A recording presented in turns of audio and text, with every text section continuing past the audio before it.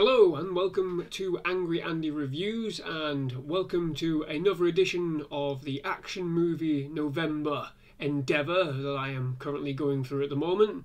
Uh, this is another not quite one paragraph review, this time of the action film Air Force One. Angry Andy. Angry Andy Reviews. Angry Andy.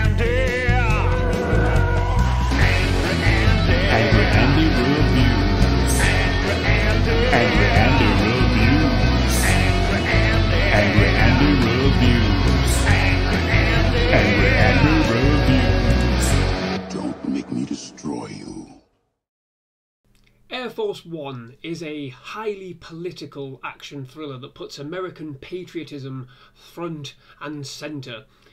At uh, what one could argue to be the end of the golden era of action movies, Air Force One was everything great and abundantly terrible with the modern evolution of the genre.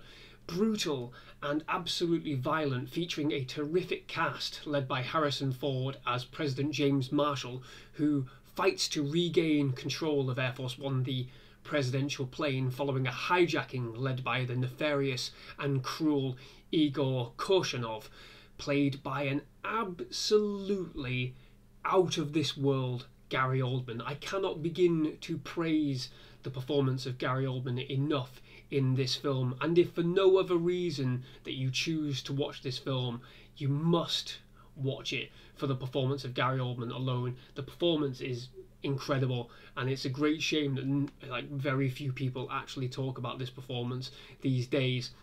The hijacking itself, orchestrated to ini initiate the release of Igor's leader, General Radek, is one of the best set pieces among a slew of set pieces within the film. Frenetic and, as I said, brutal and violent, it set the tone for the tendencies of Gary Oldman's character, who remains unhinged and calculating and methodical throughout the film. He carries a palpable tension over the entirety of the cast, cementing a legacy as one of the most frightening and violent, if, like I said, completely forgotten villains to ever appear on screen.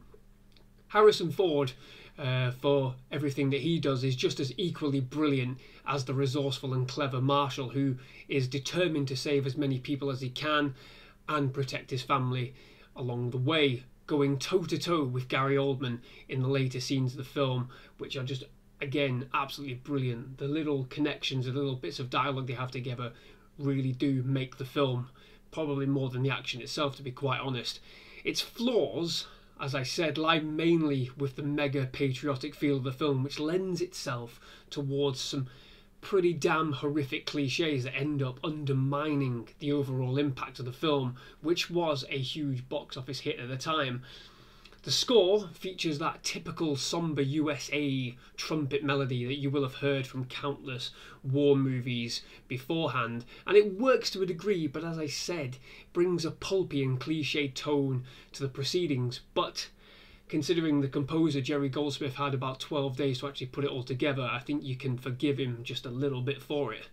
But just to cement that patriotic film and my very meaning, it's worth noting that uh, good old President Trump used the score for much of his campaign for election back in 2016. Hmm, okay then. Air Force One is a forgotten gem and probably one of the last great all action movies of the 90s that has some really great and ridiculous moments throughout and a truly killer one liner.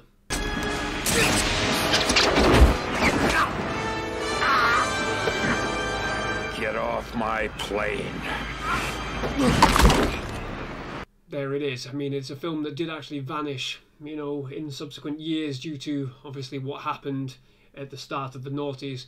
But it's a film that is deserving of a rewatch, no doubt, and I highly recommend you just see if you can find it, pull it out, give it a watch, just purely for those performances alone by Harrison Ford and Gary Oldman. It is a pretty great classic, to be fair. But there you have it. This is a very quick uh, one paragraph review, not quite one paragraph review, but thank you very much for watching. If you like this video, please do like underneath, leave a comment. Have you ever seen this film? What did you think of it? Does it hold up today? I'm not quite sure it does, but I still find a bit of enjoyment in it. Please also subscribe to the channel if you haven't already for more movie reviews like this and collectible unboxings and the like. But thank you very much for watching, as I said. Bye bye.